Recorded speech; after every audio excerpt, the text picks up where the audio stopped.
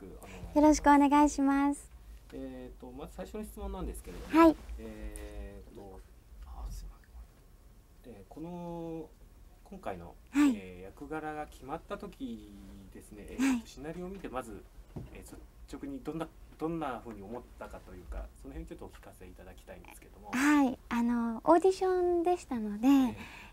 えー、内容はある程度あの聞いてはいたんですけれどもあの実際絵コンテとシナリオをいただいて、え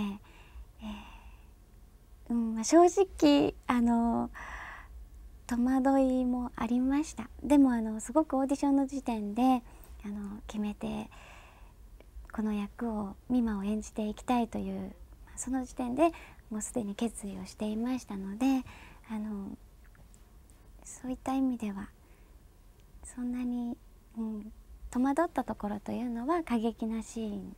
ですよね。これまであの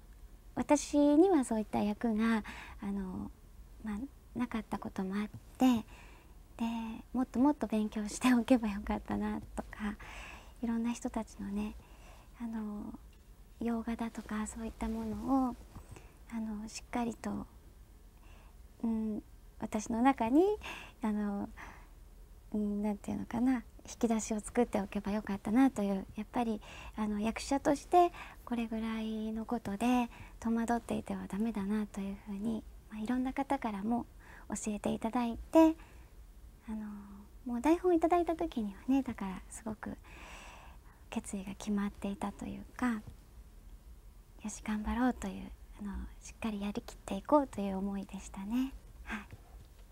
えーとまあ、役柄決定後、まあ、シナリオを読んでみてまたは、はい、えー、もう実際に何て言うんですかね、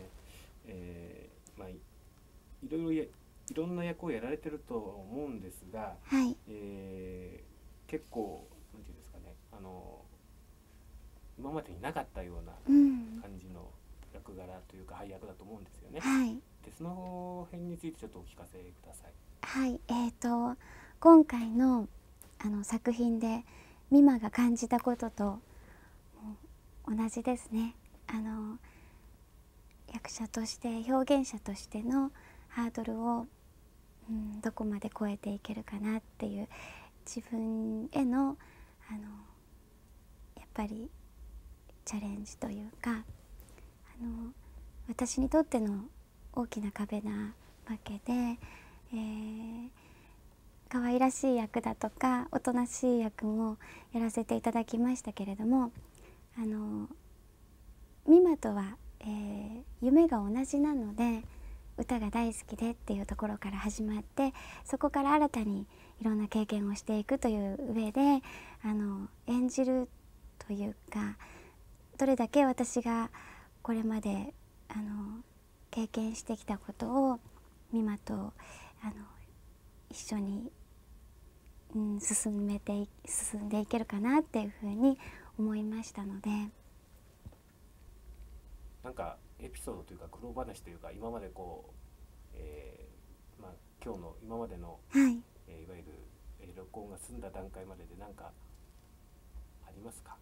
そういう苦労話みたいなそうですね。あの今回の音響監督さんもそうですがあの作品を作っている方たちがやはり納得のいくところまでっていうところでしっかりとお芝居を聞いてくださるので私自身がほんの少しでも迷ったり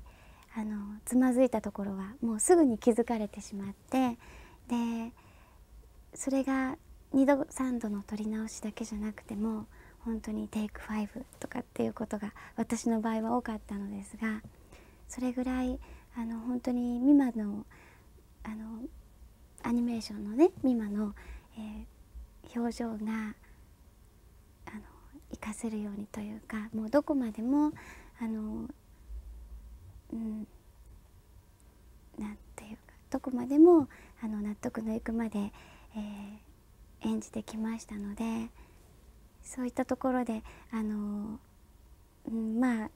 大変だったのがあのどうしても今回は、えー、叫び声だとかあの、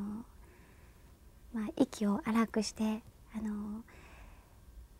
バーチャルミマを追いかけるシーンだとかそういったところがありますので本当にあの本当に本当に応援してくださる方がたくさんいてその方たちにもう一人一人にお礼を言いたいぐらいなんですけれどもあの私もねあのいろんな役を演じてそして私自身のあの引き出しもたくさん作っていっていつまでもあの演じていくことを表現していくことをあの約束したいと思っているのでどうか長い目で見守っていただきたいなというふうに思います。